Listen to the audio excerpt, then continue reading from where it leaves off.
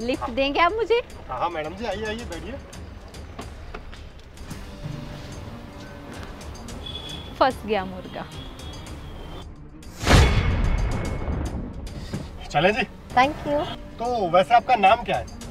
आह, मेरा नाम माधुरी। नाम पूछ रहा है। काफ़ी जल्दी में। ठीक है। नर में मुर्गा तो जल्दी हलाल हो जाएगा। माधुरी जी वाह क्या बात है। तो देखा गाइस आपने आज मेरे साथ है माधुरी जी और हम माधुरी जी को देंगे आज लिफ्ट अपनी ही गाड़ी में। आप वीडियो ये क्या कर रहे हैं आप?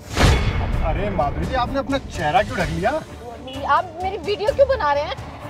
देखिए सबसे पहले तो मैं माधुरी जी को बता देना चाहता हूँ कि मैं ये वीडियो नहीं बना रहा हूँ माधुरी जी का ब्लॉग बना रहा हूँ क्योंकि आई एम अ ब्लॉगर क्या? ब्लॉगर क्या हुआ माधुरी जी? आप तो ऐसे घबरा गए जैसे कोई चोर चक्की हो। आ, आपका कहने का क्या मतलब है?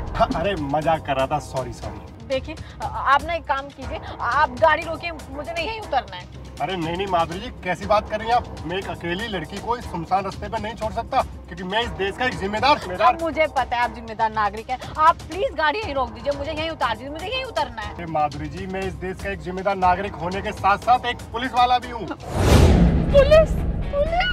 आप एक काम कीजिए ना आप गाड़ी यहीं रोक दीजिए मैं यहीं उतर जाती हूँ। ये ब्लॉग शूट करना तो मेरा शौक है माधुरी जी। वैसे तो मैं सब इंस्पेक्टर हूँ। Sub inspector?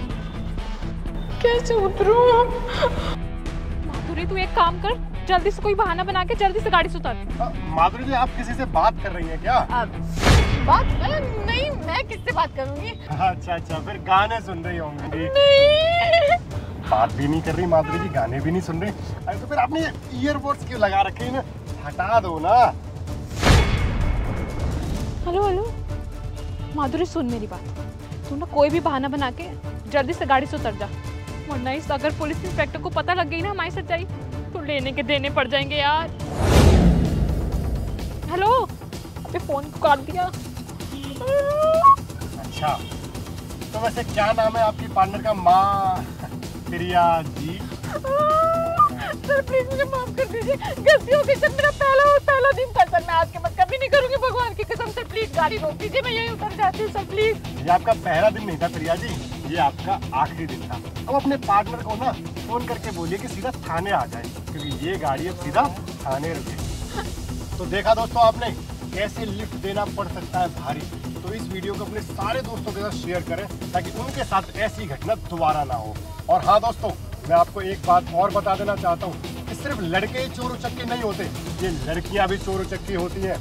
तो इसी के साथ मैं अपने आज के ब्लॉग को यहीं पे खत्म कर रहा हूँ। जय हिंद, जय भारत। अब प्रिया जी, आज तो आपका खेल खत्म।